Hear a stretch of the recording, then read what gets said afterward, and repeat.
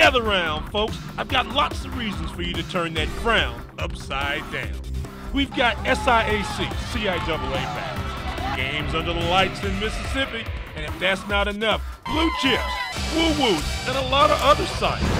You know what? Toyotas run so well, you really don't need to gas them that often. But if you feel the tank, fill it up, and let's roll inside the game.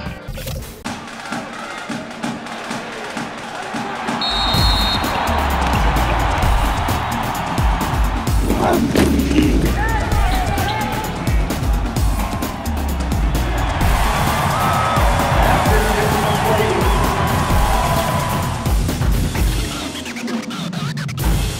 the campus of St. Augustine's University in Raleigh, North Carolina, you're watching Inside the Game. Yeah, this is a big weekend at St. Augustine's campus. First home game, they're taking on SIAC Power Stillman. In fact, this whole show has kind of got the SIAC CIAA theme with this game and the game we're about to talk about, Elizabeth City taking on Albany State. These two teams have always kind of fought for first place in their respective conferences. So this is one of those headliner games. You kind of, mmm, this is going to be a good game. Elizabeth City, remember, beat a SIAC school last year in Tuskegee and went in the Pioneer Bowl. Albany State goes to the NCAA's almost every year. It's going to be a good ball game. So let's watch the Rams take on the Vikings. CIAA versus SIAC, Elizabeth City and Albany State. You mean to tell me this is your idea of a first date? In the rain? Yeah, you can do better than that. It's a rainy night in Georgia for everybody. Elizabeth City taking on Albany State. Good action early for Elizabeth City. William Elgore with the run here. Kareem Hess had a nice night for Albany State, but neither team's offense was really effective in the first half. But just before halftime, Devontae Osborne on a fake field goal. 22 yards later, 6 to nothing, halftime, Albany State. Third quarter, that man again, Hess, will rush for over 75 yards, has a nice game here. And then Philip Moore, who had a huge ball game, picks up some tough yards. That sets up the Albany State air attack. Frank Rivers, Orion Ponder, down to the one. Next play, Rivers finds his way in the end zone. What's a dive right there? I like the dive for this, it didn't matter. 13 nothing, Albany State. But the Vikings are coming back. Casey Turner, Keith Strickland connect. They think they're going to the end zone. I think I can. I think up. Just when I thought I could, Tavares Washington takes it to the house. Big number 44, lugging and trugging. 20 nothing, Albany State. You need to cool them off. You need to cool them off. They were red hot right now. Elizabeth City finds a way to get on the scoreboard. This nice 35-yard connection turned into Strickland once again. Head coach Mike White, he's got this team all right this night. Rivers to Jordan. Elijah Jordan, that is. Philip Moore has a big run. And Rivers once again, this time to Jaquan Williams, 13 yards in the end zone, 27-7. Man, it's a bad night for the Vikings. Coach Tillar trying to figure out something. Didn't see this coming. I didn't need to tell you the truth. Adrian Alexander, 14-yard touchdown run here. Makes it 34-7. It's all smiles for the Albany State Rams. Head coach Mike White wins his 100th game. There he is. Congratulations, Coach White. And you know what happens when you win in Albany State? You do the Ram buck. Ram bucket in the rain, 34-13. Albany State wins. When I went over to practice, when I went over to practice the other day, watch St. Albert, you the running back that got mad because the line wasn't blocking. You got mad. Are they blocking better now? You got something for Stillman? You ready for Stillman? Hey, this is a basketball guy, freshman. He don't know no better. Looking good, young freshman. You're gonna be pretty good this year, right? Yes, sir. You're gonna be pretty good. Jump shooter, or do you defend? A little bit of both. We're gonna watch basketball today. Now. I'm gonna watch it. All right, Coach Seals is a good friend of mine, so I'm gonna check you out basketball. But we gotta watch another CIAA SIAC matchup. Okay, this time it's up in Petersburg, Virginia. Virginia State and Kentucky State. You don't know nothing about them yet because you young. You don't know nothing about these traditions. He understand. He played football. What's your number? I'm side. You red shirt. Yeah. Oh, so you ain't gonna play? Get out of my shot. Virginia State and Kentucky State with the red shirt. Watch the game. You don't even play it.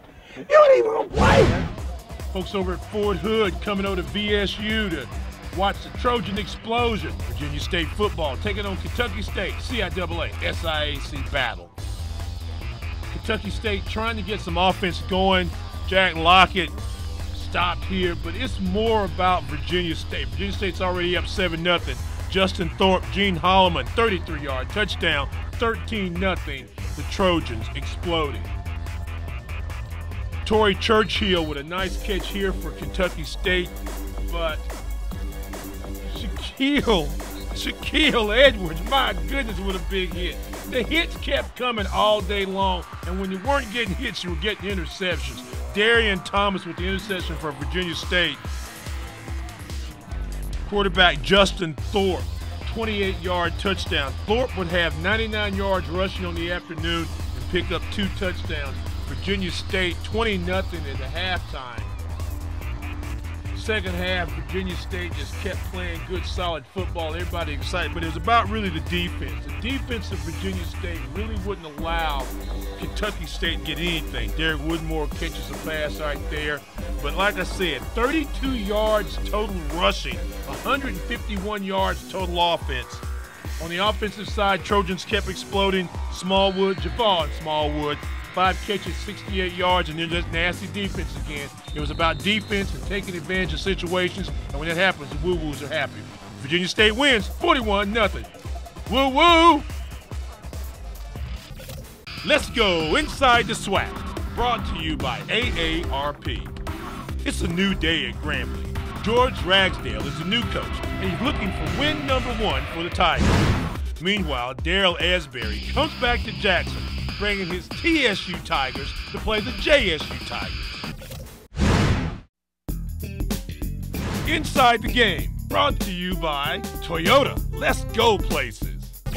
Man, there's nothing better than a fall afternoon waiting for the football game to start, just kind of chilling out on campus, under a tree maybe, just enjoying life and thinking. So I start thinking about the SWAC and going inside the SWAC, and there's a huge game going on. Texas Southern. Darrell Asberry is the head coach. Darrell Asberry used to live in Raleigh, actually, not too far away from here, over at Shaw University. He was the coach there for many years, taking on Jackson State, Rick Comegy's team. And they're one and two, Jackson State, and they've got to find a way to get a win. Lost a tough game to Tennessee State last week. So I'm going to stay inside the SWAC. Inside the SWAC brought to you by AARP. Good folks, Ned, thank you very much for everything you do. And we're going to watch this game, and I'm going to just kind of sit by the tree and chill out and enjoy a lazy football afternoon.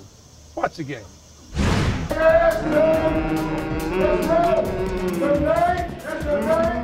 Facing winless Texas Southern, Jackson State was not in a very talkative mood, which was certainly not the case for TSU.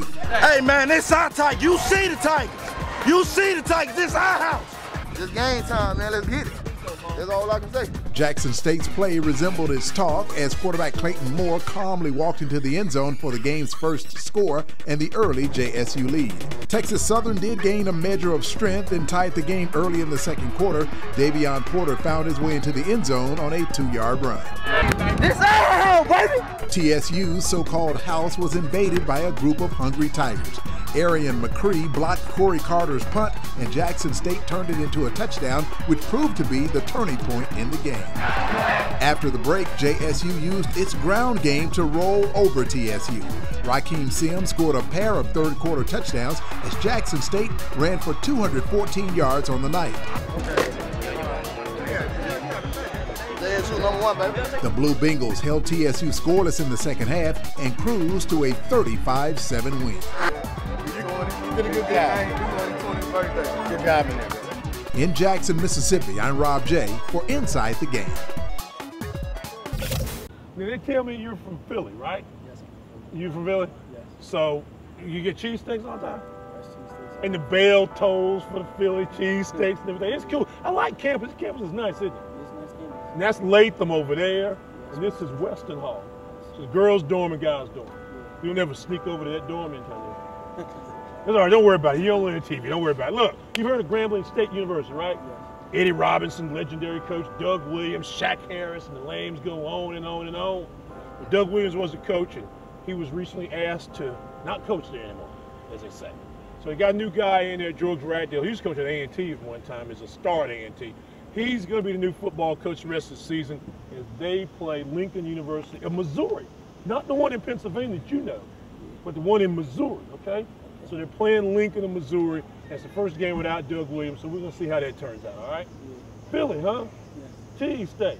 Make a phone call to your mama, tell me we need some Just days after losing head coach Doug Williams, the Grambling State Tigers had to play a fired up Lincoln Blue Tiger squad in this year's Missouri Classic. In the first, Lincoln already up 3 to nothing, and they're looking for more with Morris Henderson. He's gone for a 41 yard touchdown, and the Lincoln Blue Tigers jump out to a 10 to nothing lead.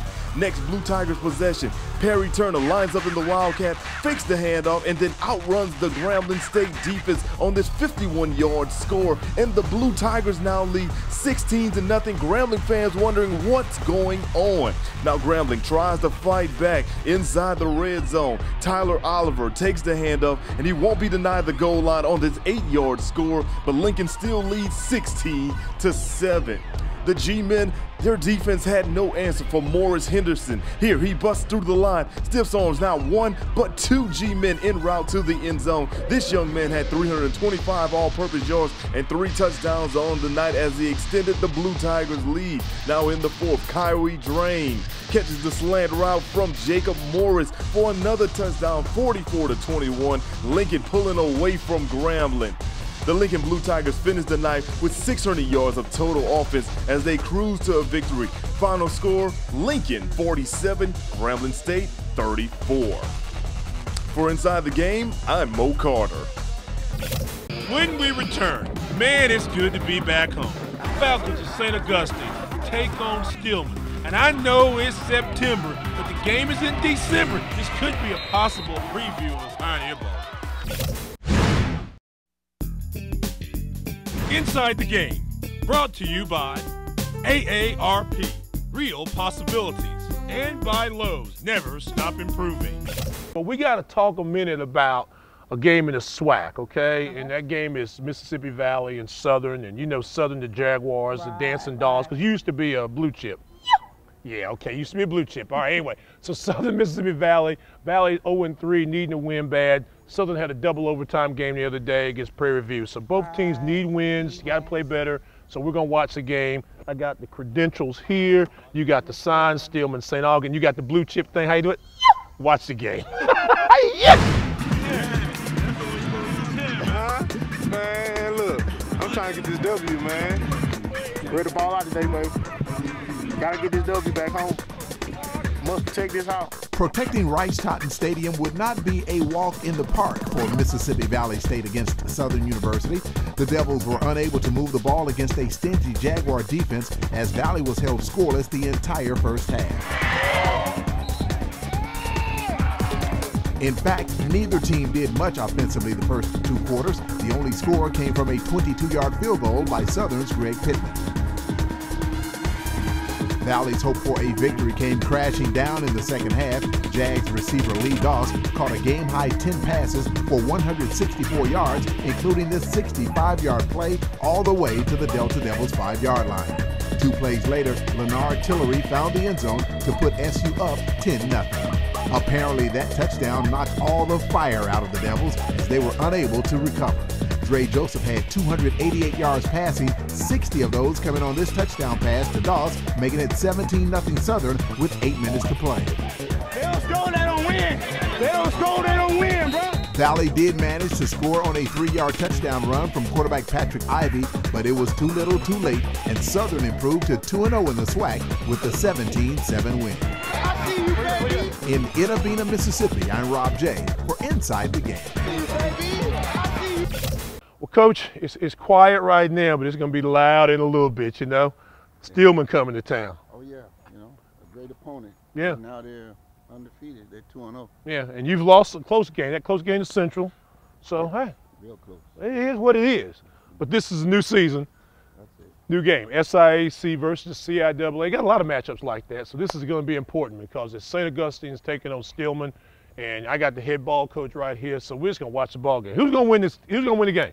Well, I know what you came to see. so we're going to give you what you came to see. Give me what I came to see. Let's check it out right now. All right. All right, get your groove on. Party time in Raleighwood. The Falcons of St. Augustine finally at home, hitting the field, taking on Stillman. CIAA SIAC battle. Falcons don't waste a lot of time getting on the scoreboard. A.J. Guilford, Herman Reed. Stillman trying to make some plays himself, but the defense from St. Aug going to be kind of tough tonight. So tough they force him to punt. Bad snap and all, kicks blocked. It ain't going to take long. Here come the Falcons. Guilford scrambles. Brian Richards, nice catch. Watch this. Watch this. Watch it. They would even got him in two-hand. Touchdown, Falcons. They're up 14 0 And the Blue Chips showing some of their best moves at home. Later on, quarterback Guilford looking for something, but Marcus Matthews picks it off for Stillman, takes it 45 yards to the house. Stillman's back in the ball game, 14-7. And the Stillman defense, well, they can hit two. Watch Christopher Dalton. Bam! It messed him up, didn't it? hey, I like it here. Anyway, though, the defense still playing good. Force one of four interceptions. That's Cameron Stalling with the interception for Stillman. But the St. Aug defense is strong today. Watch this. Sack the quarterback. Nigel Crawford Kenny with the sack. Coach said, I want it one more time. Said, Kim, do that one more again. Guys said, Coach, don't worry about it. They brought him down. Elijah Evans with the hit. Just before the half, field goal by Stillman is blocked. Desmond Hopkins takes it down inside the five. Couple plays later, watch this. You're gonna like this man. Herman Reeves, 21-7. Falcons are flying. Tight rope, touches pylon. Yeah, that's right, Herman. We got the touchdown. Fisher's got to talk about it. They got it. And the blue chips still cheering, aren't they? Put in a lot of work that day. The defense worked hard too.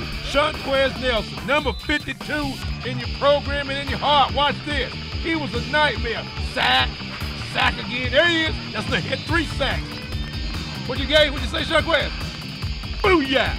52 had three sacks. The team had six sacks. And then what do Falcons do near the goal line? They fly! That's right, they fly. Guilford in for the touchdown. Yes, sir. It's good to be at home. And St. Augustine loved it. They danced and and when they got down to cheer, guess what they did? They clapped. I said they clapped. I said they clapped. Hey, hey, slow your roll. We're not finished yet. We're going to talk to a living legend, hear some good music, and watch plays of the week. Inside the Game, brought to you by AARP, Real Possibilities. Now you see me, now you don't. I am too fat for the kid. Move, dummy. That dummy's in my way. Look here. We're at the George Williams Athletic Complex, named after the legendary track and field and student athlete and athletic director of St. Augustine's University, George Pup Williams. Now, he's coached in the Olympics, was the Olympic gold medal track and field coach. He's won so many CIAA championships, I can't even remember how many there are. He's won 33 national championships. In fact, this past year, the 2013 season ended, they won the national championship in track and field, indoor and outdoor. Two, two. Some schools never win one. George got so many he can't even count. So it only makes sense that we'd be on his campus, at his stadium, and make him this week's profile. Check out George Pup Williams. One, two, three, four, five, six, seven, eight. Dr. Davis asked me uh, to do this job, and whatever job they would give me, uh, I felt like I had to do the best I could with it. You understand? So you drive it up, you're bringing it. Uh, I, want, I want to be a strive as a coach, the guy who help people, who help young folks, who help people to graduate, who help people to be successful in life. Because see, I always remember that uh, uh, it was always an inspiration. They said one time that if you if you do something for yourself, it leaves with you. But if you do something for others, it becomes a legend. You're back in time. When I feel like I can't help anybody along the way, then I, this is time for me to go. That's it. We get a different group of kids all the time. But when I feel like I'm not helping anybody, then I'm gonna just walk away from it. I didn't see you. When I leave, I don't only I don't represent George Williams. I represent St. Augustine's University. I represent the United States of America. I represent 350 million people. So time is the lesson. I just go do the job, get back, and continue to do the job. I don't worry about that anymore because after a while, the clock's gonna run out. You know what I mean? So I enjoy the clock running now, and I just keep moving because the clock is gonna stop ticking for all of us one day. So it doesn't bother me.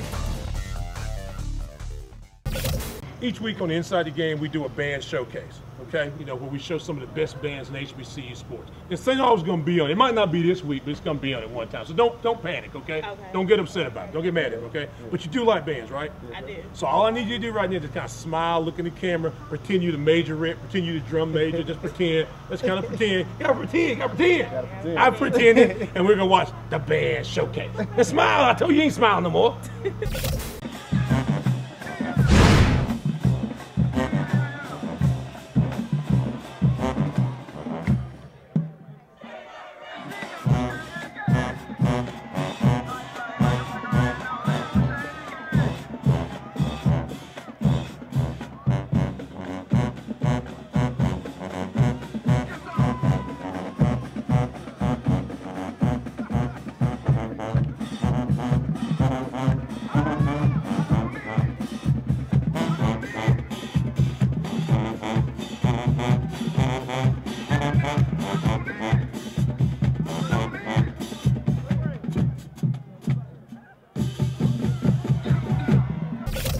coming over to St. Augustine's University, especially when the head ball coach is here, Coach Michael Costa. And I appreciate everything you do for me and everything you do for Inside the Game.